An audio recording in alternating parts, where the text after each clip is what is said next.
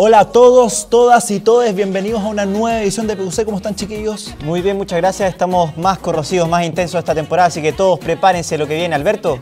Bueno, sí, se viene con todo, mismo estudio, mismo set, me- misma mesa coja, mismos tres pelotudos, pero nuevas notas y nuevo humor. Bueno, y además estamos muy contentos porque aparecimos en la portada de la revista Líderes 2017. Ahí podemos ver, ahí está Cobo, Maxi y yo, 100% real. Eh, y bueno, vamos sin rodeos a ver lo que hizo Guido Macari, esta salida de Benítez que nadie sabe quién lo va a reemplazar. Todo esto en un nuevo capítulo de PQC.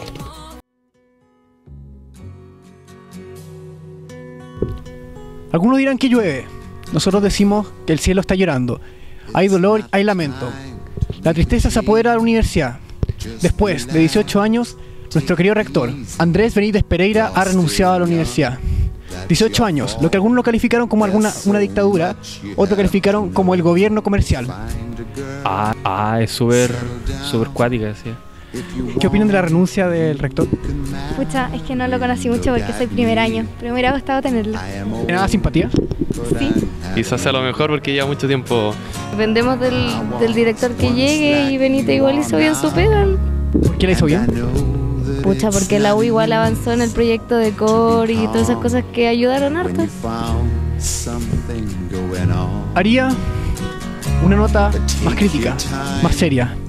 Sin embargo, la cobardía de este periodista hará que él cree un homenaje, una canción para el rector que renuncia, que se va quizás para futuros mejores, para darle un mejor futuro a nuestro país.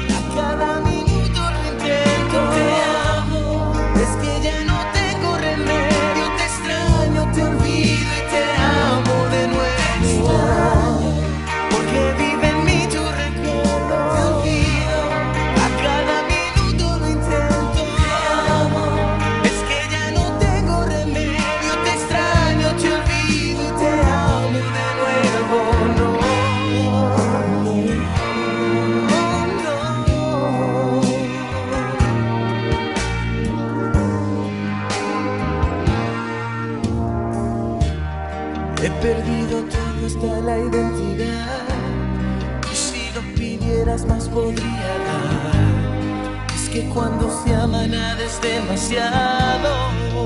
Pocos minutos más, posiblemente este auto saldrá. Saldrá en busca del comando de Sebastián Piñera, busca de un cargo en, en algún ministerio, posiblemente el Ministerio de Hacienda. Pensé que iba a estar acá con nosotros con el discurso que dio al principio. ¿Qué les dijo? Eh, su modelo iba a, ser, iba a ser como la Chile, o sea, o algo parecido. ¿Les prometió cosas? No, no, tú sabes, Rompió sueño. una cosa, ¿Por qué? Hay dolor. Traición. poco. Hay dolor y traición. Muchas gracias. El ambiente de la universidad pareciera ser de temor y miedo por la censura que podría significarle. El miedo a perder sus matrículas de los estudiantes le impide poder hacer opiniones serias y, y abiertas sobre lo que piensan. Ay, no sé, no quiero comentar en verdad. ¿Algún comentario? Paso, paso. 18 años en el poder. Ah, no, no, no, porque se retira, no hizo plebiscito. Eh, No huyas. ¿Qué opinas de la renuncia rector? ¿No? ¿Te parece una dictadura? ¿18 años? Eh, no. De este modo nos comenzamos a despedir. Habiendo recibido opiniones de odio y de temor, simpatía, de alegría, eh, nos retiramos. Informó para ustedes Guido Macari, Oscar Marcos, para PQC. Pierdolonego kurwa banana, nie? I ty z ciebie kurwa szmato i bana przejmujemy rundę, ale teraz jak nie będziesz szał to kurwa wygramy, nie? Bo ja tu jestem kurwa komanderem, ja tu rzucę i chuj. Miss your mom? No. No?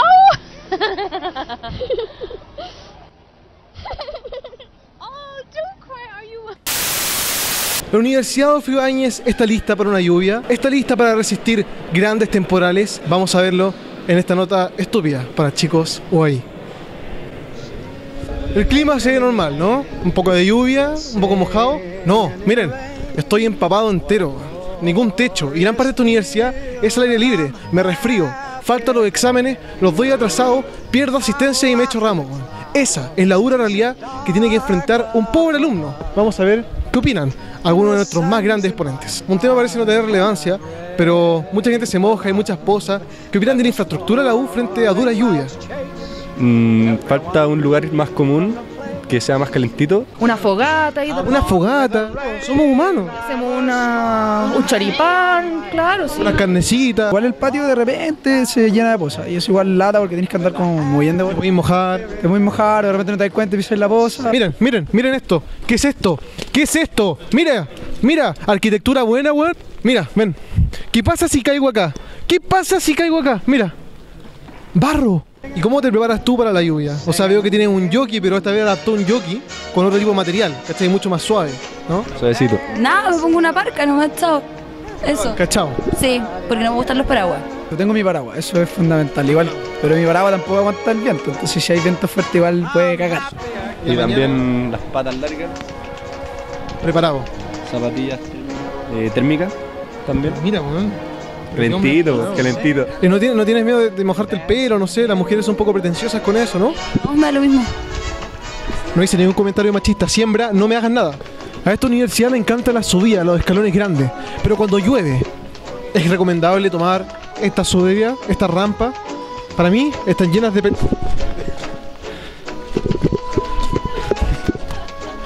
Más encima no solo me caigo, sino que se burlan de mí.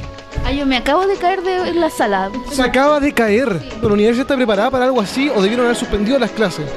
No sé, la debieron haber suspendido. Eh, el frío, hace mucho frío. Imposible vivir con este frío. Abríguense y te convierte.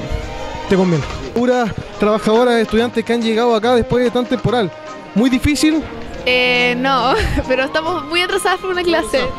Ya, dale, mucha suerte. Cuidado con caerte que está medio refaloso el piso. Pero digo, en una universidad tan grande, ¿esto es suficiente?